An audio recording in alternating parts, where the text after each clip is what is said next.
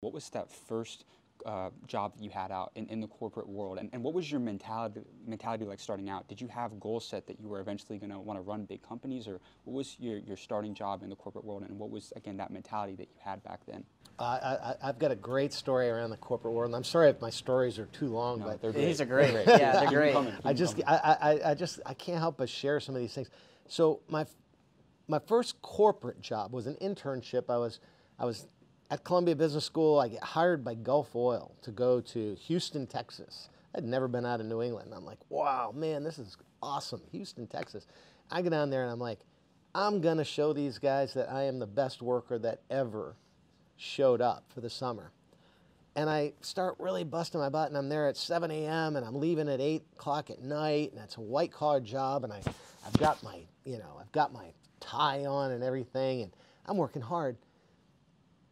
Well, I get this guy that comes over, and he's like, "Dude, you're working too hard." Well, what do you mean I'm working too hard? You're making us look bad. Stop that. You're just an intern. What the hell are you doing? Why are you working like that? You don't have to work. Go have fun. Go to the bars. I'm going, but but I want to prove myself. You know, I want to I want to make this a career. And they're like, yeah, whatever. Just stop. So I'm going to take you back. That was a white collar environment, right? I thought, no, don't tell me that a white collar world is like this because when I was trying to make money for college, I went to work at my dad's shop. So I'm, I'm in this factory, right, with a bunch of pretty tough factory workers. And they had this thing called piecework, where the more you made, the more you'd get paid. And I'm like, I'm making money for college. I'm gonna, boy, I'm gonna blow this thing out. So, yeah, I'm an athlete. I can do this, and I'm on this machine, and I'm making these blocks. You have to cut these big blocks into little blocks, and I'm, I'm making them as fast as I can. I'm like the, one of those guys on the Flintstones. You know, I'm cranking out these, these, uh, these products, and I'm all proud of myself. And wow, look at how much I made in my paycheck. And I get visited by one of the guys who puts his arm around me and says, Stop this. You're working too hard. I'm going, No, I got to work. I'm making money. He's like, You're screwing it up for the rest of us. I'm going, What? What do you mean? Well, the more I would make, the scale of expectation for everybody would go up. And so they were worried that I was going to screw it up for the full time people that were there to make their living.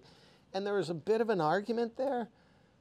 But man, what a depressing environment where you can't work as hard as you can and make as much as you can. So I was like, man, I'm glad I'm out of this this tough factory world.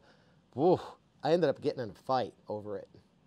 Rolling down a flight of stairs. Oh, it was bad. It was bad. I had no business getting in a fight with this dude. I mean, he was tough.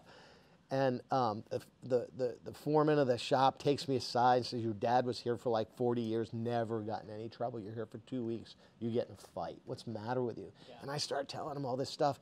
Man, they want me to punch them out early. They leave at 2 a.m. or 2 p.m. and they want me to punch them out at 5. They're doing all this bad stuff.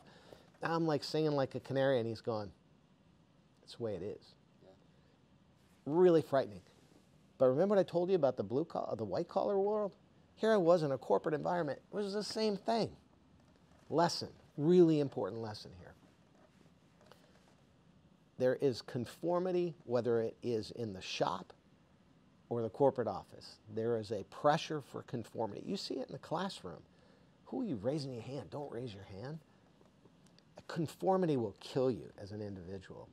The crowd sometimes like to push you down and not have you be an outlier you as an individual need to fight that and get out there and do the best you can, work as hard as you can, block out the noise, and the results will come.